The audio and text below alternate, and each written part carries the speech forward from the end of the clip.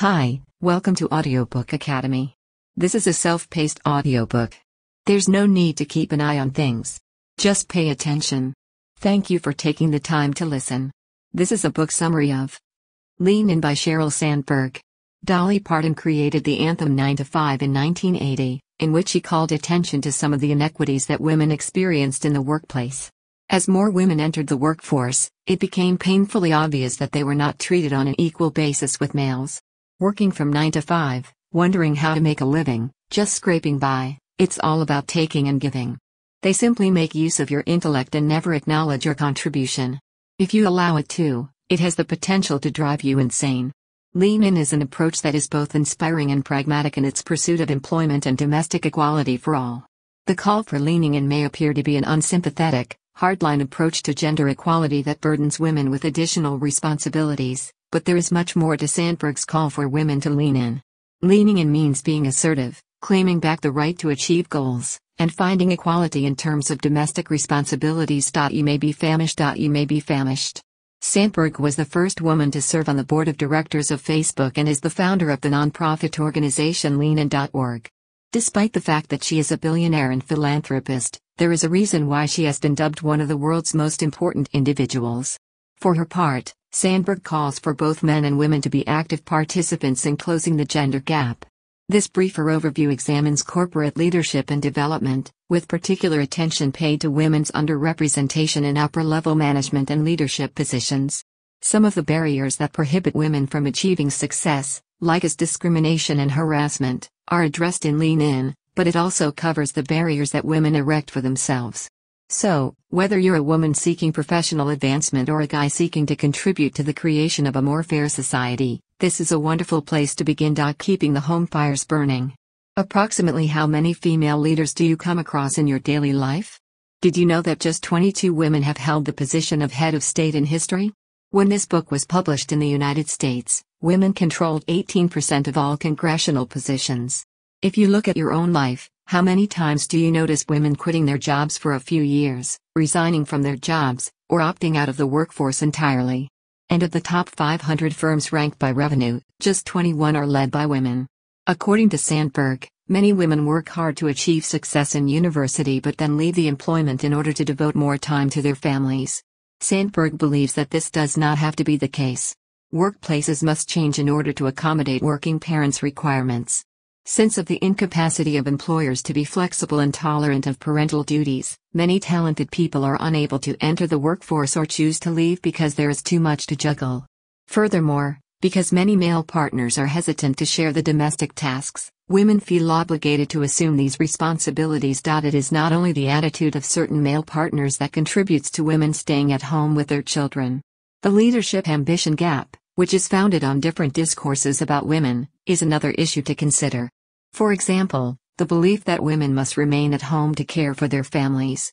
Having a family while also working is frequently perceived as being too difficult. As a result, when faced with the decision between a profession and a family, many women choose to leave their careers. The result is that many women do not pursue jobs or senior level positions because they believe that they are incompatible with having a family.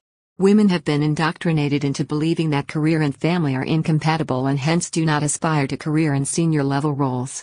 On top of all of that, females are raised with an abundance of gender preconceptions about what makes acceptable behavior.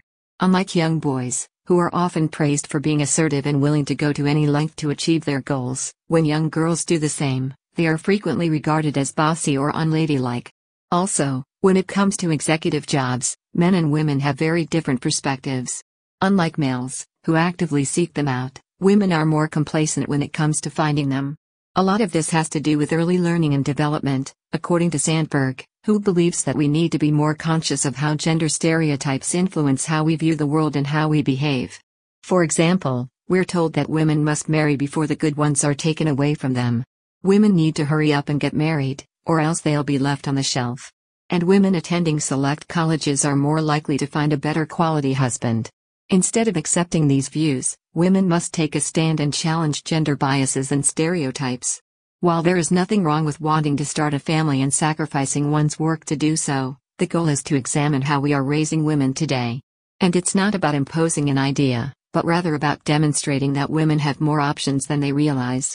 Females must have self confidence in order to actively pursue their goals and ambitions. Stop Focusing on what we aren't. So, how do you feel about your brain and your skill set right now? So many of us are plagued by feelings of insecurity and self doubt, and women are particularly vulnerable to these feelings. The majority of women in the workplace admit to feeling like a fraud and that they lack the necessary qualifications. Despite the fact that the faculty evaluated them higher than their male counterparts, women assessed themselves lower than their male counterparts in a survey of surgery students. When asked to rate their own levels of competence in another study involving political candidates, males ranked themselves as highly qualified 60% more frequently than women. Most men respond to adversities with confidence, however, most women find it difficult to display the same levels of confidence in the same situations as men. Sandberg says that a large part of this is due to the way in which women have been stereotyped in the past. Female employees suffer from a lack of self confidence in the job, resulting in a distortion of reality that prevents them from recognizing their own worth and abilities. To maintain their sense of self worth and value, women must constantly remind themselves of their prior successes and achievements, as well as lean into sentiments that affirm their worth and value. The issue about accomplishments is that they aren't plentiful when you don't have the confidence to go out and get them yourself. And, while we're on the subject of confidence, women should keep their hands up and ask questions. Other people need to encourage women to speak up and to recognize when women are being silenced, ignored, or passed over for promotions or other opportunities. Miss Congeniality is a person of warmth and kindness. According to a 2003 survey, there is a significant difference between how men and women are perceived in the workplace. Two different groups were given case studies that were identical in terms of the entrepreneur's profile. The only variation between the two case studies was that in one, the entrepreneur was referred to as Howard, while in the other, she was referred to as Heidi. The findings revealed that, despite the fact that both Howard and Heidi were respected by both groups, Howard obtained a significantly higher likability rating than Heidi. The behavior of two identical people was studied, yet one was found to be more likable merely because of how we perceive gendered behavior. It is easy to like men who take decisive action, have a natural drive, and a strong feeling of authority. Women, on the other hand, who exhibit these characteristics are not regarded in the same way. Many believe that this is due to the expectations placed on women, according to which they are expected to be inherently compassionate and nurturing in their roles. Women, according to popular thought, are not intended to be individualistic, rather, they are expected to embrace the community spirit and act with more of a group mindset when in public. In addition, being well liked among coworkers and outsiders is important for several reasons. According to Sandberg, these gender discourses and stereotypes have a negative impact on women's financial well being. The term gender discount problem refers to the fact that women frequently shoulder the burden of their male counterparts' work. In situations where there is additional marking to be done, reports to be written, muffins to be ordered, or retirement gifts to be arranged, women are more likely to take on this work because they are more communal and good at this type of work.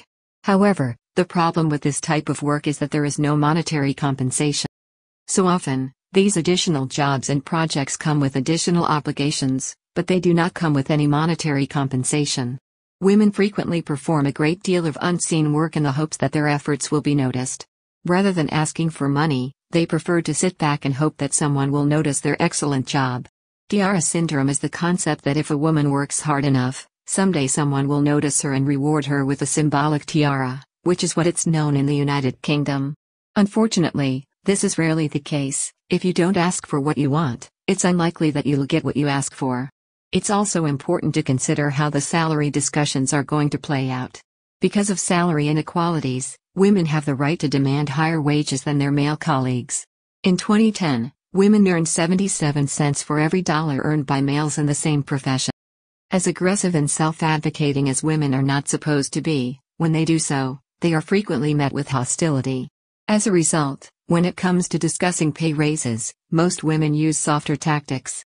For example, instead of being persistent and confident, they may choose to exhibit concern for others and accentuate their pleasantness as a coping mechanism.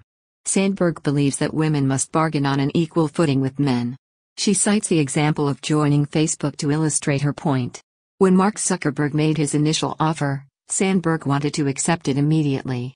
However, she was urged to make a counteroffer, and the resulting negotiation resulted in a significantly better deal for her. Making a difference is being the change. When you talk to the most successful people, the vast majority of them will mention a mentor who has assisted them in getting to where they are now. When it comes to navigating a profession and making the correct decisions at the right moment, having a mentor is essential. Women frequently struggle to locate mentors, and as a result, they become extremely persistent in their efforts to establish relationships and frequently overextend themselves in their efforts to engage a mentor. Men, on the other hand, are more likely than women to spontaneously enter into mentor mentee relationships because they are easier to form. Sandberg's advice is to not push yourself too much. She claims that we've been trained to believe that if we obtain a mentor, we'll be successful.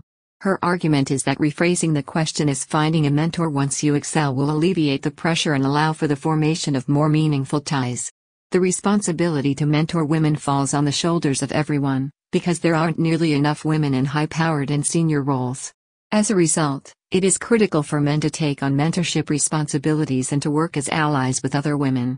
As for males, they must step up and take on more responsibilities in the areas of care and household chores, to name a few examples. In order for women to be successful, males must provide them with greater support by becoming more involved in their family's affairs. One idea is that men typically back away from these responsibilities as a result of negative feedback from female colleagues and friends. Housework and childcare are typically performed by women since they act as maternal gatekeepers. It is only through having the authority to parent and perform domestic work that men can become more involved.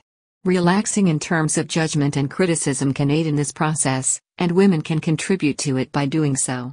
It all boils down to communication when it comes to maintaining equality in the family. The best approach to manage expectations and establish healthy compromises is to have a strong relationship with your partner and talk about your job growth and future ambitions. It is one of the most important methods to bring about change to have open channels of communication in which women are heard as much as men and are not condemned for being too emotional. How to create a career map for your success. We can use Sandberg's advice to plan our professional futures.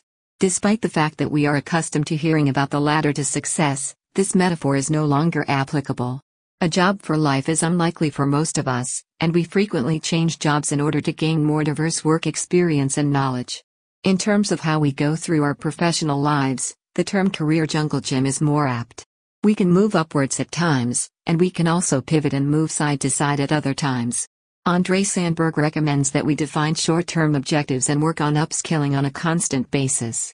The decision must be made as to whether it is a smart idea to take time off from work to participate in a course or workshop, or whether taking a year off to learn a critical new talent is worth the financial sacrifice. It is preferable to look for employment that encourage growth in learning rather than positions with a renowned title.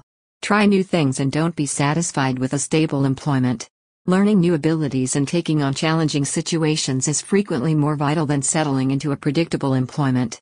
Because real learning comes from overcoming barriers, many prospective employers may inquire about our past experiences and problems.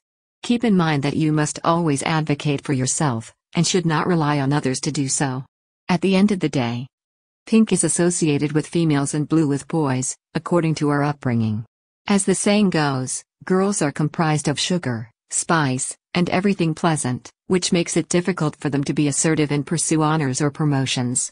In addition, Women should look for these opportunities because, as Sandberg notes, we stand on the shoulders of the women who came before us, women who had to battle for the rights that we now take for granted.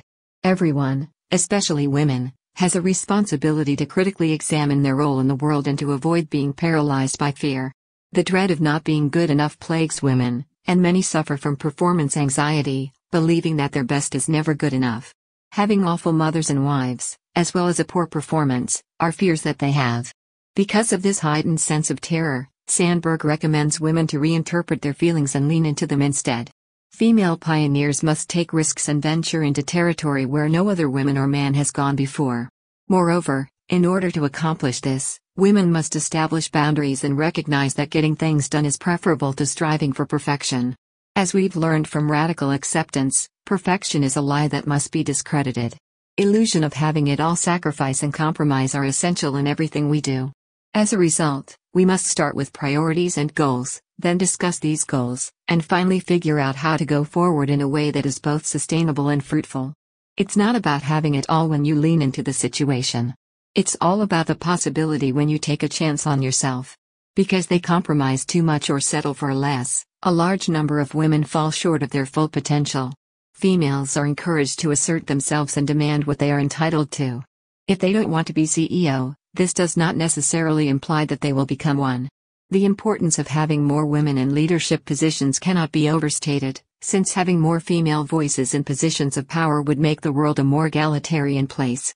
In the words of Sandberg, a truly equitable world would be one in which women led half of our countries and corporations and men led half of our homes. Thank you for listening in Audiobook Academy. Please don't forget to subscribe for more content like this. See you in next audiobook.